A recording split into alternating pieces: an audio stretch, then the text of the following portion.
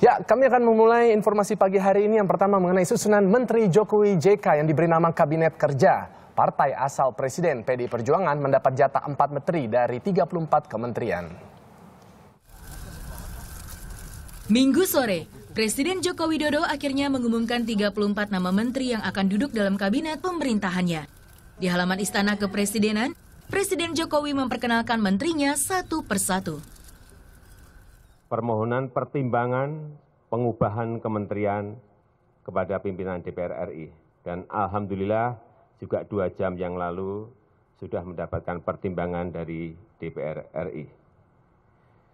Selanjutnya pada kesempatan ini saya ingin memperkenalkan 30 menteri dan akan saya panggil satu persatu. 34 menteri yang akan saya perkenalkan satu persatu.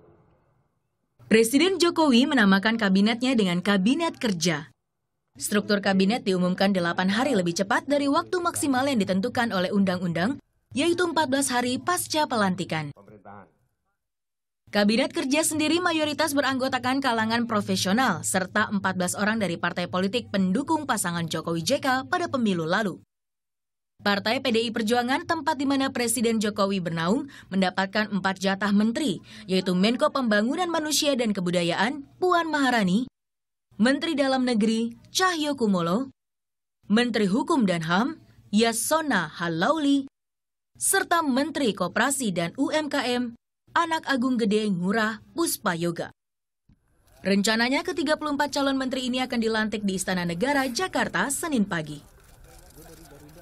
Indra Raharja, April Hasibuan melaporkan untuk NET.